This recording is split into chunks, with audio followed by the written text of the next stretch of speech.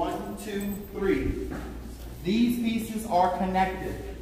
Close the gaps visually. That's the back of her head. The couple dancing right here. That's the rest of their body connected. It continues over onto the next panel, next wall. The couple sitting at the table with the dancer between them, and then the last panel with the cotton club. This is a historical nine-linear piece that I'm going to share with you. The name of this piece is called Communal Resurrection Song for Aya. I want to first point out to you Aya, and then I'm going to walk you through the entire piece and talk to you about some of the finer points in here about this communal resurrection. Aya is an Adinkra symbol coming out of Accra, Ghana.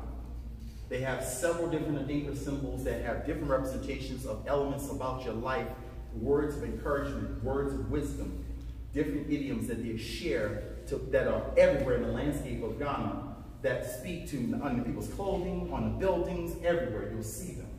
There many of these things are have been in the American context brought here through slavery, and a lot of the wrought iron workers that were in New Orleans, they put them into the wrought iron fences. And the people that had them in the yards had no clue that they had the Adinkra symbols on it. It's in chairs, it's in windows, it's all kinds of spaces, literally hidden right in front of people.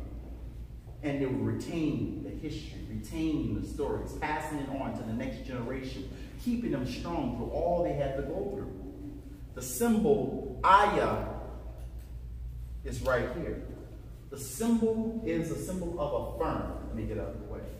It's a symbol of a fern, and that's a stylized fern. The fern is a symbol of endurance. And if you think about a fern, a fern is definitely a symbol of endurance because it's hardy. It don't need a whole lot to grow. It can grow off a little bit of water and that bad boy is gonna grow, wow, almost like bamboo. It just grows. And so that's what the symbol represents. So now, once you look at that symbol of Aya, you would know, or note maybe, that I've used it throughout the entire composition. It's everywhere. Over and over again, that Aya is inscribed on like a tattoo within the composition. I kept using it repeatedly, all throughout. It's on the forehead, it's on the sides of arms. Every look, it's there. The more you look for this, those shapes, that pattern, you start seeing it. It's everywhere, all throughout the composition. Ferns, ferns, ferns, ferns, endurance, endurance, endurance. So I'll start with this side over here. I want to make sure I get that out of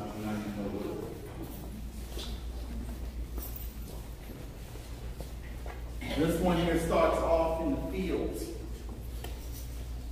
As the woman's down here singing unto her God.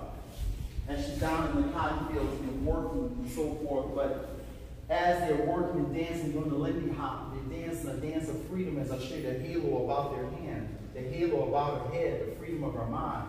The cotton club is juxtaposed with the cotton field because that became another translation in terms of the incarceration, in terms of stopping and denying people to be able to access into equal spaces. The dancers move on as they move in the ways which life would utilize their utensils as I juxtapose them to figures which come from the bottom of the slave ship. Design-wise, I pull the rhythms and the sound and it rolls over, it drops down and boom, as the woman dances, as the wheels still, as it's scratching, as on top of the, the music is playing, the woman is dancing and the handkerchief is waving in the air. And then on the ground, the Sugarhill Gang, hip, hop, hip to hip to hip, hip, hop, don't stop, rocking to the bang bang, put this up, jump the boogie to the rhythm of the boogie to beat. They moving all across the composition as it goes and boom, it bursts out here from the floor, up and down and around. It slows down. The woman dances off to the side as a couple share a moment together.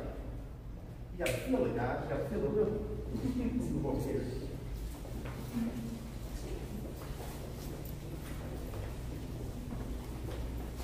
And as you move into the compositional space, I now move into a room where I give you a little bit of R&B. Minnie Riperton is on the stage singing, Love me, it's easy cause you're beautiful. I'm not gonna try to hit that next line. she's singing, she's going for it, and her hand is raised up. And then those who know that I just did this piece here at this college, you'll note that I have a piano player in that composition that I deposited at this institution, and there's a house on top of it. It's a symbol that I developed a couple of years ago. Because I started thinking about When we hear a musician play their music, we don't just connect to them in terms of the sound. We connect to them from where they're from.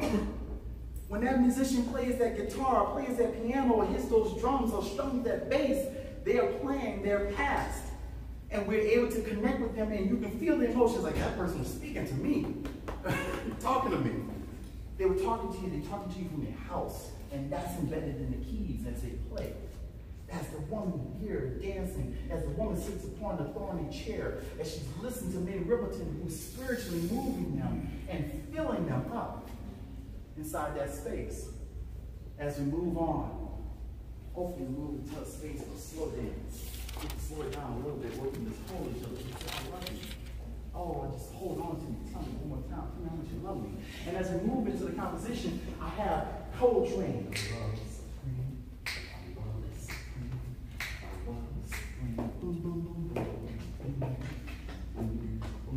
This is Esperanza Spalding. And then Art Blakey on the drums and the kicking over here, the woman singing and moving, the audio for our hearing. And then we see the New Orleans band go. But then I take you from here as the horn is a sound of liberation, a sound of freedom. The ribbon touches the New Orleans housing projects. Boom, the ribbon touches the, the projects in Chicago. The ribbon moves and it goes and it goes all into Sing Sing, which is a penitentiary in New York. And it speaks the space where we have a continuation of slavery in our nation in the prison industrial complex. And it speaks our work as musicians, as artists, working against those systems and breaking those chains that exist still today as we process out, as we as older generation speak back to younger generation as we process in the streets, remembering to remember about the dirge of our past, the dirge in our present, with the hope of a second.